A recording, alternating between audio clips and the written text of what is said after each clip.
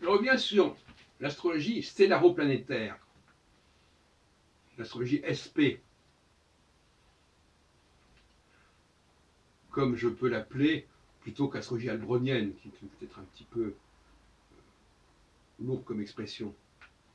J'aime bien la formule stellaro-planétaire, et je voudrais la positionner par rapport à la question de la précision des équinoxes. Qu'un des grands arguments des adversaires d'astrologie, c'est la question de la précision des équinoxes. La question de la précision des équinoxes est directement articulée sur la question du zodiaque et de la division en douze du zodiaque, de l'écliptique, quel que soit le principe utilisé. Parce que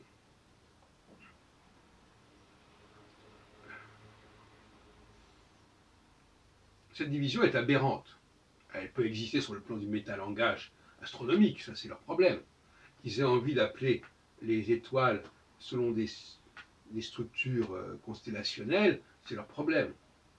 Mais nous, astrologues, nous ne sommes pas dans le constellationnel, et le signe zodiacal, c'est aussi du constellationnel. Mais on nous dira que c'est un signe, voilà, que c'est un constellationnel plus ou moins euh, euh, aménagé, mais c'est quand même un constellationnel. Ça, c'est un problème d'histoire de l'astrologie. Euh, le débat, savoir si on a d'abord pratiqué les signes zodiacaux d'après le, le, point vernal ou d'après les constellations, il est clair qu'effectivement, euh, à un certain moment, ça a correspondu à un certain point vernal. Alors certains adversaires de l'astrologie diront, ben oui, mais ce point vernal, il a bougé. Il a bougé. Alors les astrologues vont répondre, ben oui, il a bougé, et nous aussi, on a bougé. Et donc les constellations ne correspondent plus aux signes zodiacaux. Et certains astrologues sidéralistes considèrent qu'il faut quand même rester dans la formule initiale, c'est-à-dire où était le point de départ euh, dans, dans le passé. Mais de toute façon, c'est un faux problème. Parce que quand on travaille dans le domaine stellaro-planétaire, il n'y a pas de précision des équinoxes. Si, je dis que telle planète est à la même longitude que l'autre, telle autre que telle autre, que telle étoile, ça ne dépend pas de la pression des équinoxes. Donc là, vous avez un, argument qui saute, un argument anti-astrologique qui saute complètement. Mais euh, il ne faut pas rester là. Le, stellaroplanétarisme, qui n'a pas de sens d'ailleurs au niveau de l'astronomie, puisque euh, on, fait, on, met en rapport des planètes avec des étoiles qui ne sont pas du tout dans le même plan et à la même distance. Mais d'un point de vue visuel, effectivement, ça fait sens. Or, pour moi, l'astrologie est dans le domaine du visuel et du virtuel, et du technique, comme dans un tableau de bord. Bon, tableau de bord, euh, euh, voilà, ce qui est important, c'est ce qu'on voit, c'est pas euh, quelle est l'origine des différents facteurs que l'on combine sur le tableau de bord. Donc, dans le tableau de bord, une planète se rapproche, s'éloigne de telle autre, de telle et telle étoile. Et ça, au niveau de l'astrologie cyclique, ça a complètement disparu de l'astrologie. Même chez les sidéralistes, qui eux ne s'intéressent pas spécialement aux étoiles fixes, ni même à quelques étoiles fixes comme l'étoile fixe royale. Non. Pour le sidéralisme, c'est un mot qui s'emploie comme ça, ça veut dire qu'on s'attache au décalage entre euh, le, nom, le, nom de la constellation et euh, sa position, euh, la position du point vernal. En disant le point vernal, ça ne nous intéresse pas. Ce qui nous intéresse, c'est le moment où la constellation est là. Donc pour un citaliste, la constellation du bélier reste la première constellation. Même si elle ne correspond plus du tout avec le point vernal. Donc là, on n'est plus du tout dans ce système-là.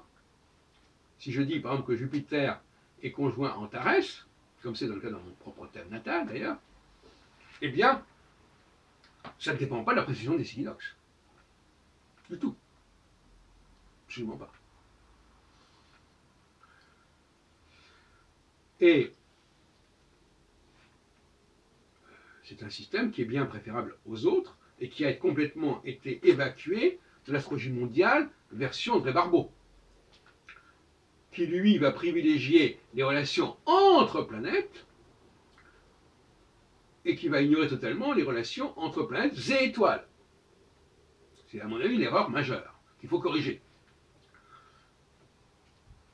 Faire désormais des prévisions cycliques qui tiennent compte de la conjonction ou de la séparation, sous une forme ou sous une autre, entre telle planète et telle étoile. Vous me direz, oui, mais il y a beaucoup d'étoiles. C'est vrai qu'il y a beaucoup d'étoiles. C'est pour ça qu'il y a une tradition, qui est celle des étoiles fixes royales, qui ne garde que quatre étoiles, qui sont aux quatre coins du zodiaque, et correspondent en grosso modo aux quatre constellations correspondant au signe fixe. Taureau, Lion, Verseau et euh, Scorpion. on connaît toute, une histoire là-dessus, on ne va pas rentrer dans le détail. Le scorpion, l'aigle, le tétramorphe, euh, euh, les quatre animaux liés aux, aux, évangélistes. il y a un système quaternaire qui est là, qui est très ancien. On le proto, un proto-zodiaque, une proto-astrologie.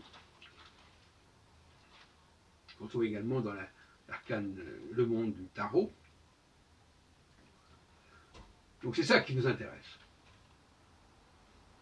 Et ce système divise la course de chaque planète en quatre temps à peu près égaux. À peu près égaux. Il tout diviser par quatre. Donc euh, une opposition, vous divisez par 4, ça fait 45 degrés. Donc quand je parle de disjonction, j'entends une opposition divisée par 4, donc 45 degrés. Quand une planète est à 45 degrés en gros euh, d'une étoile fixe royale, ou de deux étoiles fixes royales, puisque euh, elle peut être au milieu, au mi-point entre les deux, eh bien elle est en disjonction, ce qui signifie qu'elle est en période d'entropie. C'est-à-dire qu'elle est en période de diversité et de multiplication euh, des possibles. En revanche, quand elle est conjointe avec une des quatre étoiles fixes royales, elle est en négantropie, c'est-à-dire qu'on va essayer de limiter au maximum la diversité, on va resserrer les boulons pour arriver à une forme d'unité, d'apparence d'unité. Et puis tout ça, ça va alterner. Voilà, au fond, les règles du jeu, c'est ça. Mars, Jupiter, Saturne, pourquoi Mars, Jupiter, Saturne? Parce que euh, pourquoi ces trois planètes plutôt que d'autres Parce que quand on regarde le ciel, eh bien, on s'aperçoit que d'un côté, bon, au-delà de Saturne, de toute façon, ce sont les planètes qu'on ne connaissait pas, donc on les évacue. On ne connaissait pas avant la fin du XVIIIe siècle pour, l'une d'entre elles, et puis pour les autres beaucoup plus tard.